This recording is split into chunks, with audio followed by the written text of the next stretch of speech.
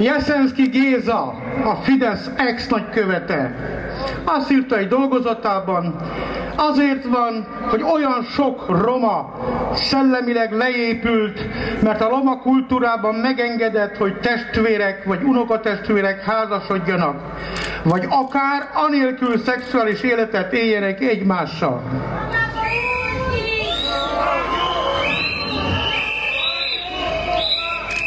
Jeszenszki Gézának üzenem, hogy nagyon remélem, hogy ma is szégyeli magát az évekkel ezelőtt megírt ezen sorokért.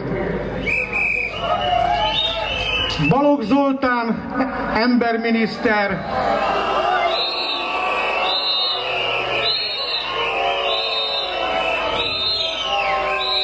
azt bírta mondani tavaly, a 70. Roma holokauszt emléknapon, évfordulón Magyarországról nem deportáltak romákat.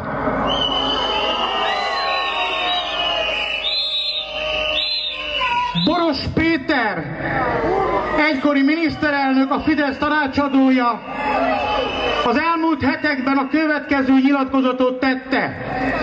Nyugat-Európában már a bevándorlók harmadik generációja él, akiknek kulturálisan már integrálódniuk kellett volna a befogadó nemzetbe, és mivel nem tették, ezért nyilván nem is alkalmasak rá.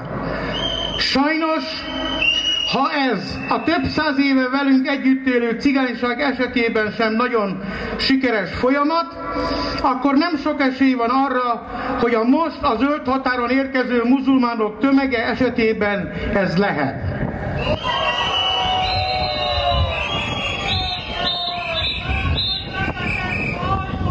És végül Magyarország miniszterelnöke néhány nappal ezelőtt azt mondta,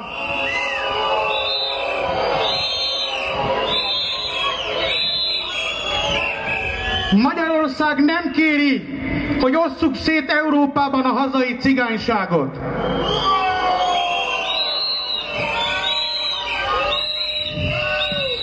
Mint ha csak megtehetné, hogy szétosztásra felajánlja a hazai cigányságot. Én azonban innen üzenem neki, hogy szégyelje magát.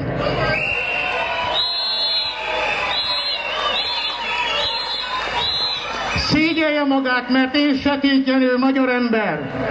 Nem vagyok rabszolga, amely eladható. Nem vagyok bélyeggyűjtemény, és nem vagyok kavics, ami elajándékozható, vagy átdobható Európa országainak bármely határán.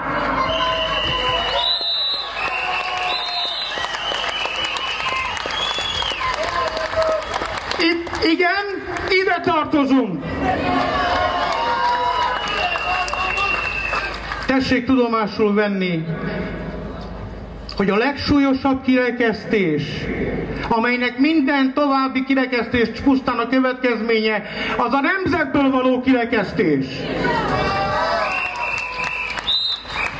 A legsúlyosabb bűn pedig az alapvető emberi jogok megtiprása. Az egyetemes emberi jogok nyilatkozatára nincs ráírva, hogy csak fehéreknek.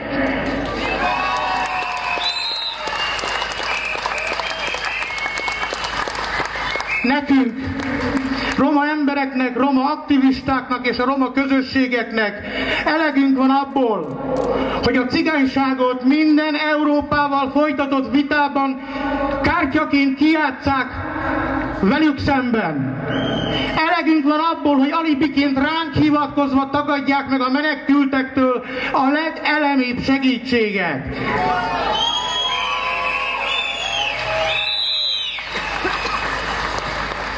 A magyar politika ma úton útfélen azt mondja, hogy itt van velünk 800 ezer cigány, aki teher, ezért nem tudjuk a menekülteket befogadni. De ez nem igaz.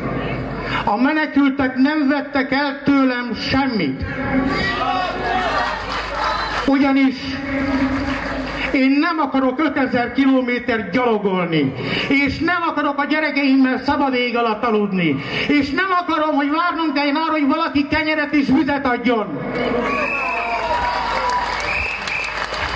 Van azonban közös a menekültek és a magyarországi cigányok helyzete között, még hogy bestelenül bánnak mind a két csoporttal.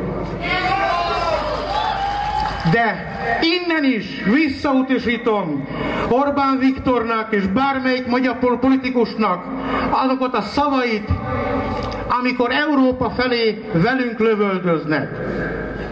Mert fordítsuk meg ezeket a mondatokat. Nem kérjük, hogy a magyar nyugdíjasokat osszák szét Európa országaiban. Nem kérjük, hogy a jászokat és kunokat osszák szét Európa országaiban. Én következetes ember vagyok, ezért nem kérem, hogy Orbán Viktort osszuk szét Európában.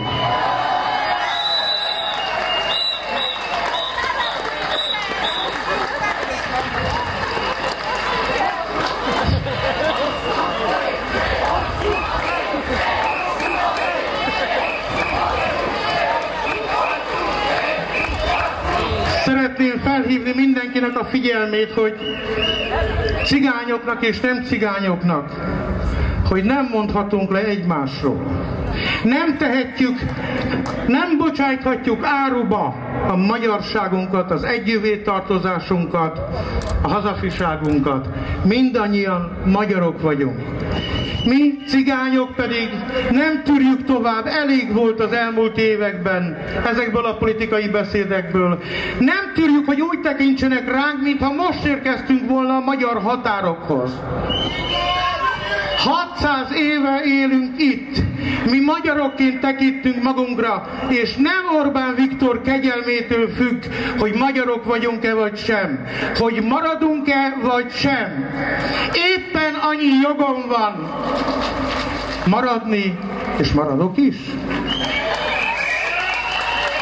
És magyarnak tekinteni önmagam, mert ezen a nyelven álmodok és gondolkodom, mint Orbán Viktornak.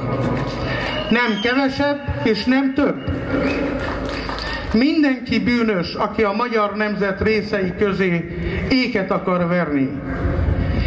Én számomra nem a megosztó, a nemzetből kirekesztő szavak a fontosak, hanem az a rendkívül híres cigányember, akit úgy hívtak, hogy Lakatos Menyhért, aki a füstös képek világhírű írója, aki azt mondta, hogy része vagyunk a nemzetnek, mint erdőnek a szélső fa.